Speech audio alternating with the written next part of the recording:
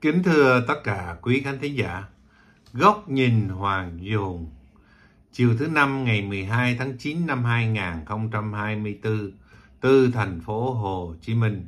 Quý khán thính giả biết Wow, tiếng Việt mới đây có làm một chương trình Nói rằng là có một người Việt Nam ở Việt Nam vận động đa nguyên đa đảng muốn thành lập một đảng đối lập thì đã bị bắt giam và bị xử phạt là 6 năm tù.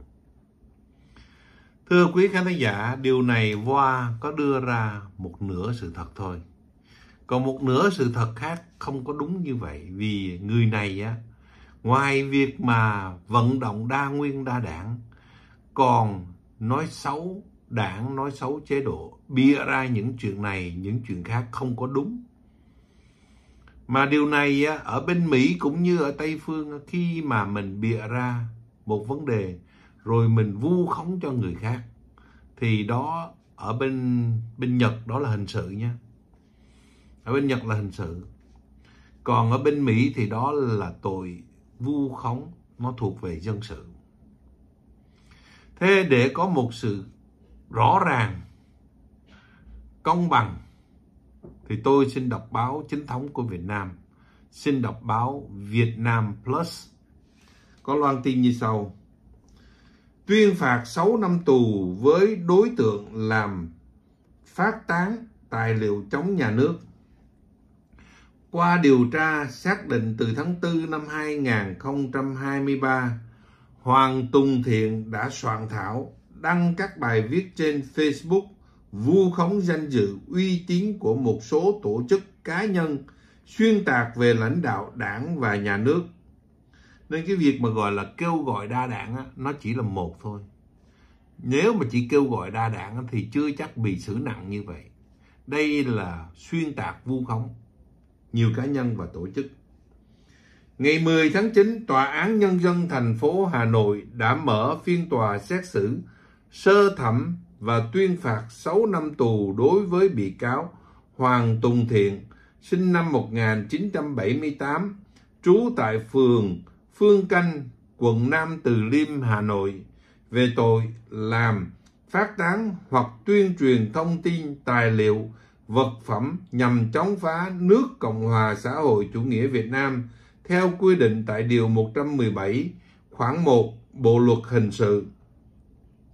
Theo cáo trạng, ngày 17 tháng 1 năm 2024, Cơ quan An ninh Điều tra Công an thành phố Hà Nội nhận văn bản kèm tài liệu liên quan của Công an quận Nam Từ Liêm về việc làm rõ Hoàng Tùng Thiện sử dụng Facebook Hoàng Tùng Thiện để đăng tải các bài viết có nội dung xấu, tuyên truyền đa nguyên đa đảng, nói xấu đảng, chế độ chính trị, xuyên tạc về các lãnh đạo đảng, nhà nước.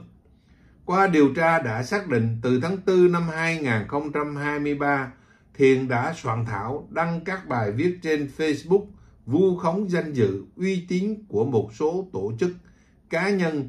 Những bài viết của Thiện đều nhận nhiều lượt like, bình luận tiêu cực, có nội dung xấu.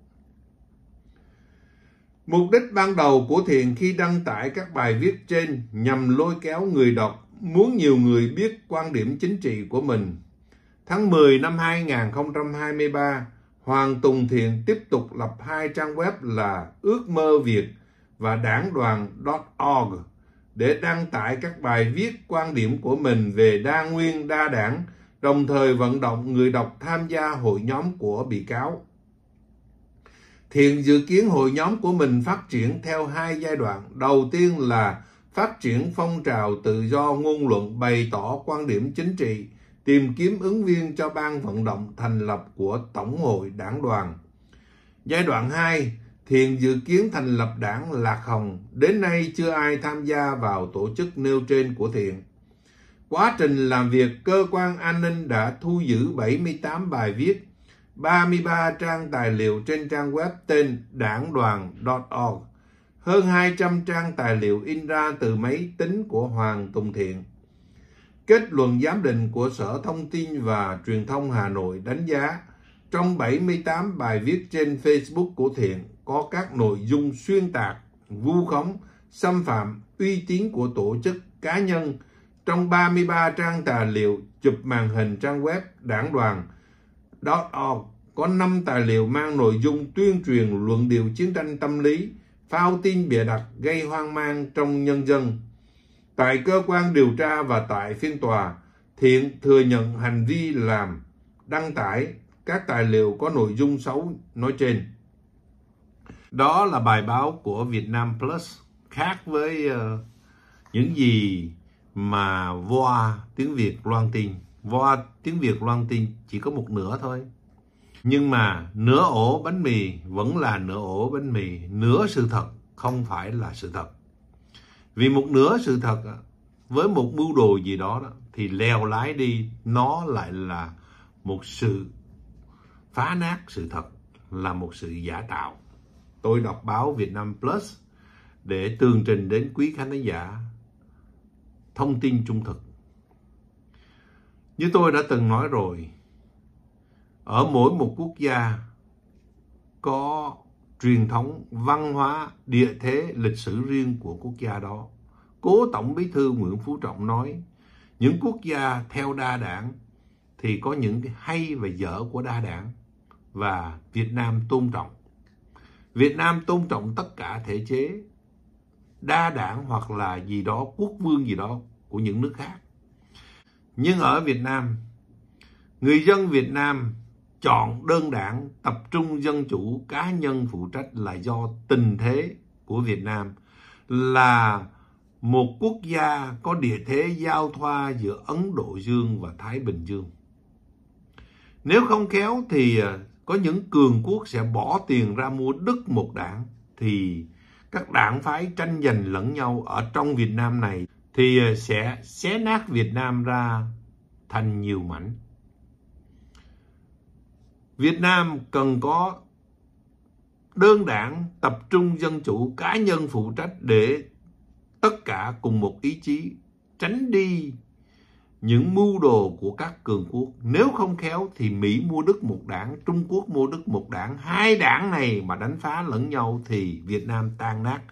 Sẽ có cảnh không còn hòn đá nào trên hòn đá nào ở tại thành phố lớn Aleppo của Syria. Và cảnh ở Libya thành lập nhiều chính phủ, nhiều sứ quân. Nên à, Việt Nam muốn có sự an bình, ổn định chính trị, phát triển kinh tế do trong những năm qua là nhờ có Đảng Cộng sản Việt Nam. Đơn đảng, tập trung dân chủ, cá nhân phụ trách. Giai đoạn này không thể nào có đa đảng được.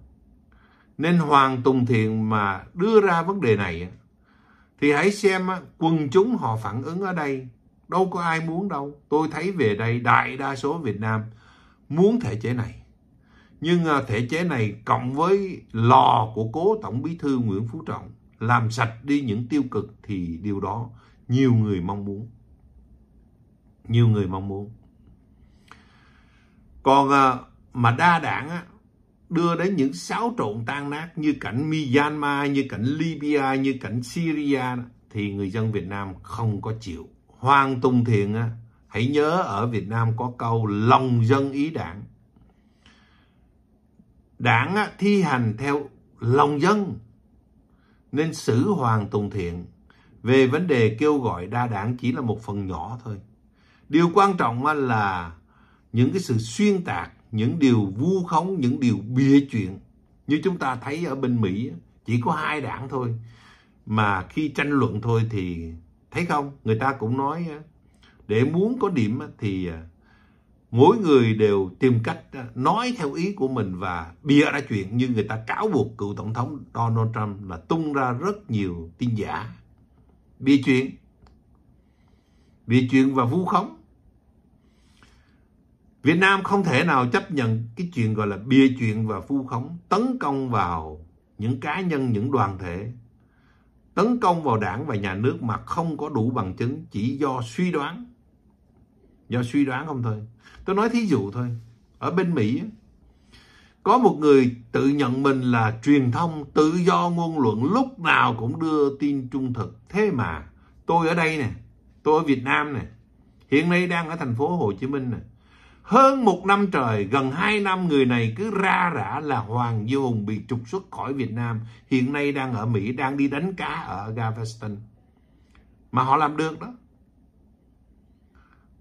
Những người đó đó rất dư thừa ở bên Mỹ, rất dư thừa. Nếu cảnh mà đa đảng như thế đem về Việt Nam thì đất nước mình tan nát. Tôi nhớ cuộc bầu cử của cộng đồng ở Houston năm 2009. Phe thất cử thua thì đã rút ra tờ giấy trong túi áo đọc. Thắng cử thì chúng tôi công nhận kết quả bầu cử. Thất cử thì chúng tôi cho rằng là chúng tôi bị người ta gian lận, chúng tôi sẽ kiện. Và quả thật đã kiện tụng. Và cộng đồng tan nát như tương vì lý do đó. Não của những người Việt Nam chống cộng cực đoan là như thế đó. Lúc nào cũng cho rằng là mình đúng hết đó. Và bất chấp, bất chấp chuyện này chuyện nọ, miễn sao họ đạt được mục tiêu thì họ làm thôi. Thì đất nước sẽ tan nát. Cảnh cộng đồng Houston và các cộng đồng khắp nơi trên thế giới bị tan nát là do những tư duy như thế. Mà đòi đem về Việt Nam mà. Mơ Hoàng Tùng Thiện nên à, một bản án 6 năm tù cho Hoàng Tùng Thiện thì tôi cho rằng điều đó là đúng. Chính xác, đúng người đúng tội. Còn Voa mà loan tin thì tôi đã nói rồi, nửa sự thật. Vì không phải chỉ là đòi đa đảng mà muốn thành lập đa đảng. Thành lập đảng đối lập, vận động người này người nọ xong rồi nói xấu. Nói xấu những cá nhân, nói xấu những tổ chức. Đó là một trong những lý do cộng lại thì mới có là kết quả 6 năm tù giam. Chân thành cảm ơn tất cả quý khán thính giả theo dõi và xin hẹn gặp quý vị trong chương trình sau.